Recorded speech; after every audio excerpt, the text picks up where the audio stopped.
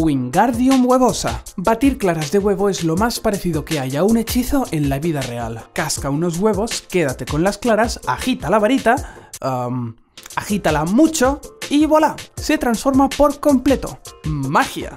Pero ¿cómo se obtiene una cosa tan blanca y tan firme a partir de algo tan transparente y tan blandurrio? No pienso volver a grabar esto nunca. Pues a hostia limpia. Batir mete burbujas de aire en las claras y al final las proteínas del huevo forman una estructura tope guapa que es lo que llamamos clara a punto de nieve. Pero en este vídeo no voy a hablar sobre cómo se forma esta estructura ni sobre cómo se mantienen firmes unas claras a punto de nieve, porque es una auténtica movida en sí misma y se merece su propio vídeo. La pregunta de hoy es, ¿por qué algo que es transparente, bueno, amarillento, se puede convertir en algo tan blanco? No lo estamos mezclando con nada y no está ocurriendo ninguna reacción química chunga, como ocurría con el caramelo. Así que, ¿qué demonios pasa ahí? Pues pasa que si las claras se llaman a punto de nieve es por algo. Y entonces me podrías preguntar, pero Arcadi, Jolín, ¿qué quieres decir con eso? Y yo te diría, cállate, este es mi vídeo, yo tengo el poder, yo. en cualquier caso, si estoy siendo enigmático es porque primero quiero que hablemos de las leyes de la refracción y la reflexión.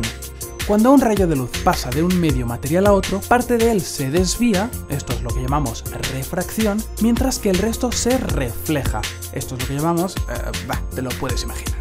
Cada interfase, es decir, cada límite entre dos medios, será un lugar donde tendremos refracción y reflexión, y cuanto más diferentes sean sus índices de refracción, más pronunciado será este efecto.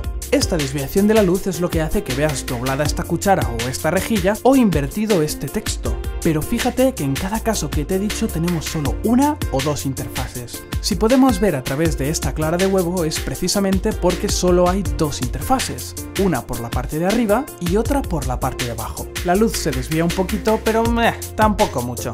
Ahora bien, cuando batimos una clara de huevo obtenemos un medio material plagado de burbujas de aire y cada burbuja supone dos interfaces en las cuales la luz puede ir reflejándose y refractándose por todos lados. Tendremos dispersión y en vez de ver lo que hay detrás obtendremos una combinación de luz viniendo de todos lados, que en general será blanca. Y esto de combinar y dispersar la luz, sorpresa sorpresa, es también por lo que la nieve, las corrientes rápidas o incluso estas bolitas de hidrogel en su conjunto tienen el color blanquecillo que tienen. Aunque el agua y las bolitas individuales de hidrogel sean transparentes, los huecos de aire dispersan la luz y le dan esa apariencia blancuzca.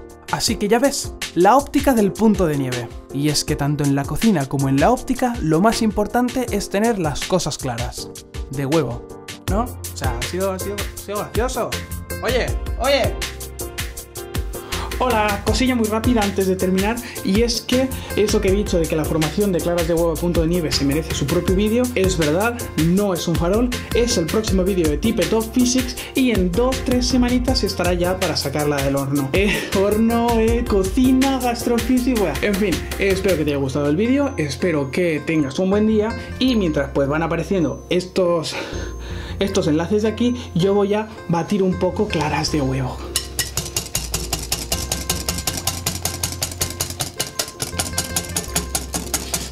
Huele bien. Bueno, huele, huele a huevo. Proteína, nutrición.